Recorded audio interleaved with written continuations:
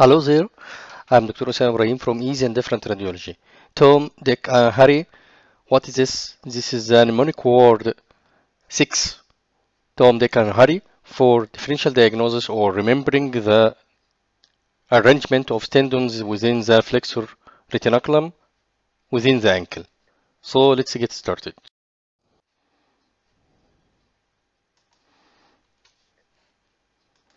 First of all, I want to uh, share the terminology of this word with you.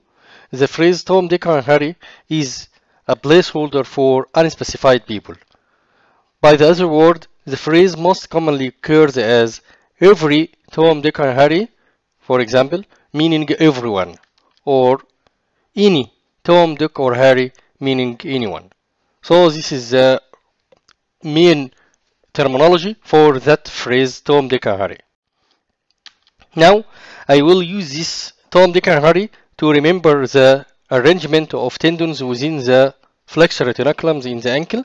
As you see here, this is the flexor retinaculum between the medial malleolus and the medial aspect of the calcaneus. And there are tendons arranged from anterior to posterior by these words Tom, Dick, and. Tom from the tibialis posterior, Dick from the flexor digitorum longus, D digitorum, and the vessels, anti uh, artery, nerve, and vein, posterior tibial artery, and tibial vein, and Harry, Harry from the flexor hallucis longus. So this is the arrangement of tendons within the flexor retinaculum from anterior to posterior. This is the anterior aspect, and this is the posterior aspect of the ankle, as this is the tendon Achilles. So, the flexor retinaculum tendons, to remember it,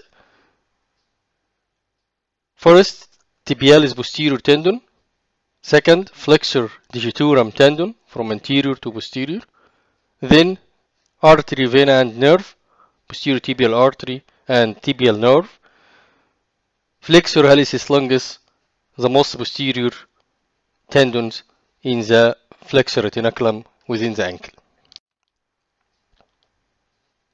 And this is axial image from MRI, which is showing this is the posterior and this is the anterior, Achilles tendon posterior, and this is the tibia and fibula. So this is the medial aspect and this is the lateral aspect.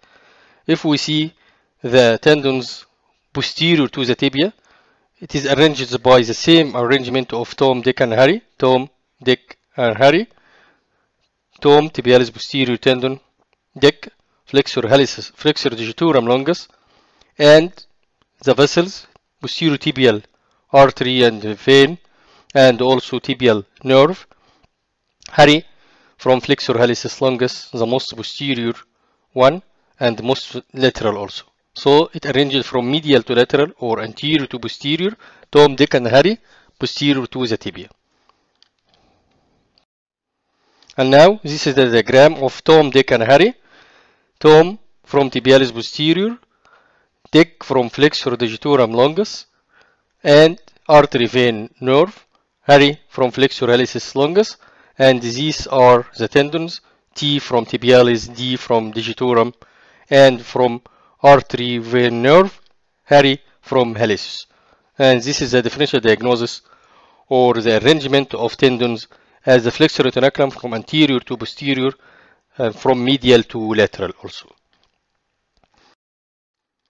If you want to watch more than 60 presentation, you can follow the Google search by the name of my channel, the Easy and Different Radiology. Welcome also and wait you as every Wednesday for MRI learning lesson, every Sunday for rapid review anatomy, and every Friday for mnemonic word like Tom, Dick, and Harry. Thank you very much for watching, listening, and with you in next presentation.